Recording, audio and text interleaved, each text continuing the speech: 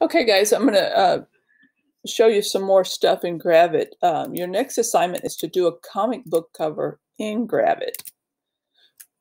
So um, now you can draw it out first and then trace it over in Gravit.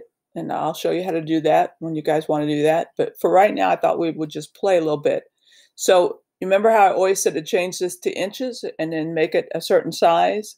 But this time we're making a comic book cover, so it's going to be eight and a half by 11. So the easiest way to do that is to click right here where it says paper size, and then go up here where it says U.S. letter portrait. That's eight and a half by 11. So now we've got it.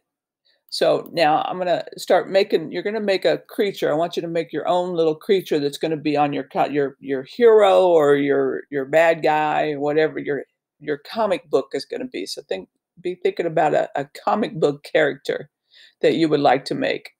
So I'm going to start with an ellipse. So I'm going to make a head and I'm going to figure out my color. I think I'll make him orange and I want him to have an outline. So I'm going to come right here where it says borders and here my picture's in the way that could yeah there we go so where it says borders i'm going to click on the plus and then by default, it's black and it's one point, and that's what I want. So, so there's my, my head. Now I'm going to give him some eyes. So I'm going to do an ellipse again, and I'm going to do one right here because that's where that eye is going to be. And I want that eye to be white. So I want it to be white, and I want it to have a border as well and the default. So thank goodness for that. So now that I've made the one, I want to copy that one and bring it over here. So I'm going to select it and I'm going to hold the Alt key on my keyboard.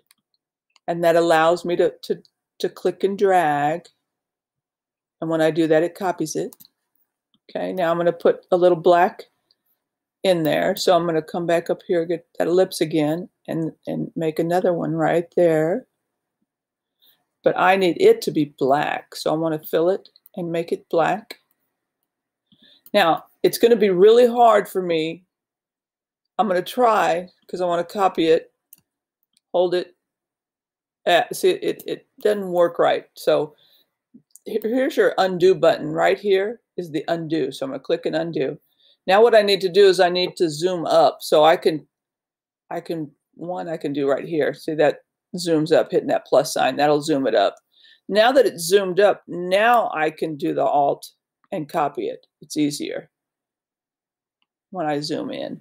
Plus, when you zoom in, you can you can just, you know, sometimes you need to zoom in. And I'm going to use the arrows on my keyboard just to click that, just move it just a little bit, a little bit. Okay, now I'm going to zoom down. So over here's the minus.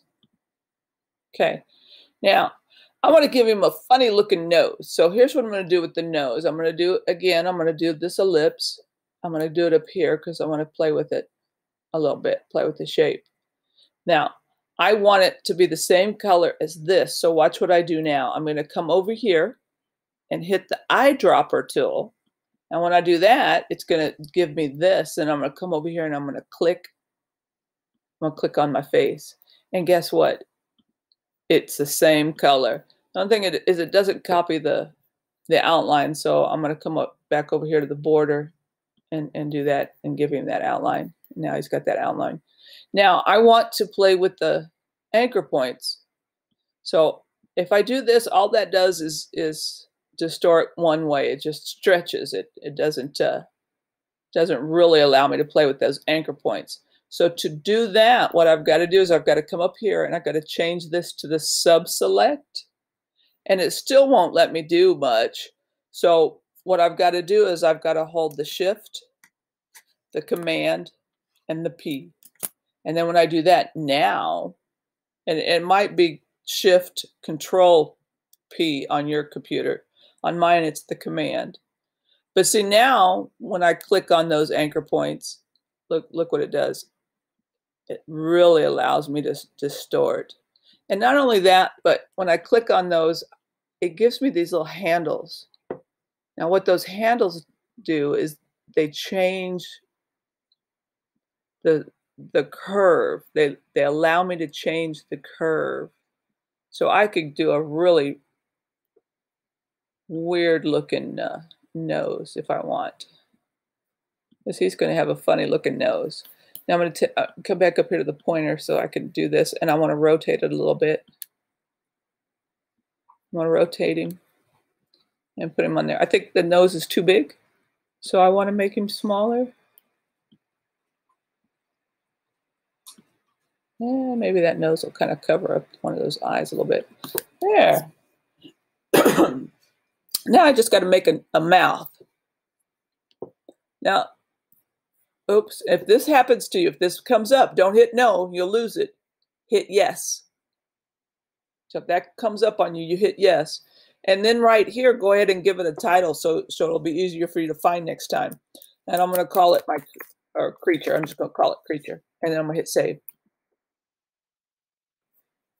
Uh, there we go. Okay, so so there there's my the start of my creature. Now I can decide if I want ears, uh, I want a mouth, what do I want on there, and then how do I want to create it. So I, there again, I'm going to do the oval. So I'm going to, I'm going to, so let's see, what do I want an open mouth? Maybe I do want that to be black. Let's make it black. Now I want to play with the shape of it. So again, I'm going to come up here to the sub select and I'm going to hit the shift command P. And now I want to play with my points a little bit.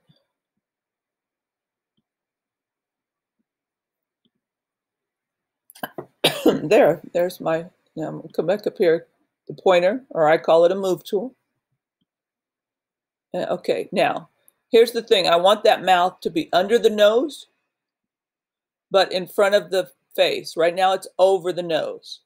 So I've got to click on it, and I'm going to send it to the back, but I only want to send it back to the back once because I want it to be in front of the face. So right up here is the bring element forward or bring element backward. So I'm going to take it backward. So I'm going to click and there. And now it went backward once. So there's my mouth. And I, I don't know, do I want a tongue sticking out? Maybe I want to make a tongue sticking out. So I'm going to come back to this. Um, I think I'll do it with the rectangle. I'm going to show you a different way to do this. So I'm going to take my rectangle. And now you see those corners. So now I'm going to come here to the sub-select. And now see how, and I'm going to zoom in so you guys can see that better. You see the little red dots? Now, if I don't make, make if I don't do the shift, command, and P, I don't make it a path. But because it's a rectangle and it's got these corners and see these red dots, what they will, that will do is it'll, watch it, it'll, it'll curve those corners. So I can curve those corners as much as I want. So there, that there's my tongue. And I want it to be red. So I'm going to come over here and make it red. I think I want a darker red. And since down here, it gives you colors, but up here, it's going to give you more values. I think I want it to be a kind of a dark, dark red. Get the right red. So I'm going to click right there. There. I want it to be that color. And again, I want it, I want to give it a, a border. So when I click there, it automatically gives it that border, which is really nice. And I'm going to come up here to the my pointer because now I'm going to put him in my mouth. And that's too big. And I want to, I think, maybe I'll do it this way. But I'm to have to make it smaller. I think it's too big. So I'm going to come here and I'm going to make it smaller.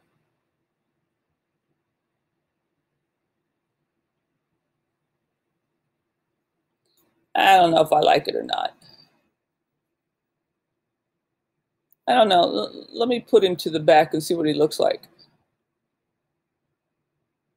I want him to the back. There we go, just once. And he's sticking out. I don't know if I want it. Like I don't. I, I don't know. I don't know if I want it. Maybe I don't want it. Let me bring it to the front. So, so you may have to do that. You may have to play and say, you know, do I want this? Do I want that? So I really need you going in there and playing. And I want you to play. Uh, a lot. So, so really get in there and play. And I am too. So I'm going to be working on it too. And, and as I work on it, I'll add to my video. So, so there I've got that. And I'm going to do one last thing before I go. I could give him some eyebrows and some hair, but, but I'll do that next time. Right now, I want to group all that together. So I'm going to make a big rectangle around everything. So that's all grouped together. Group it. Now that's all grouped together. So now that, that'll work. That, that stays together. Okay. So now I'm going to do the last thing I'm going to do is, is good. I'm going to go ahead and save it. Now I've already saved it once.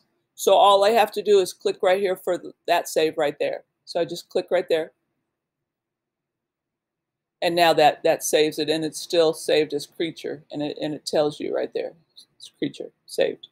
Okay, so that's it for now. I'm going to share this video with you. We're going to watch it tomorrow.